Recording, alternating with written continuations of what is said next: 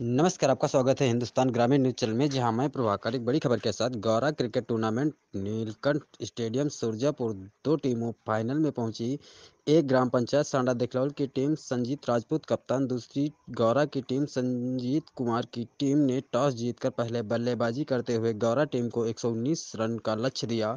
गौरा की टीम लक्ष्य का पीछा करने उतरी। 12 ओवर में 90 रन बनाकर ऑल आउट हो गई। संजीत राजपूत की टीम ने उनतीस रन से हरा दिया। गौरा टीम को man of the match series 16 wicket 117 run Kuldeep Kumar Verma ने के नाम ग्रामीण खिलाड़ियों की अपील हरदोई के नेताओं व प्रशासन से है कि सभी ग्राम पंचायतों में खेल का मैदान खाली करवाएँ और बच्चों को खेल का बढ़ावा ज़रूर दें, जिससे मानसिक व शारीरिक फिटनेस बनी रहे और बच्चे देश का भविष्य हैं। ब्यूरो रिपोर्ट, हिंदुस्तान ग्रामीण न्यूज़ चैनल, सच्ची और सही खबरें सबसे पहले पाने के लिए देखते रहिए एचजीएन न्यूज़ ग्रामीणों की आवाज़।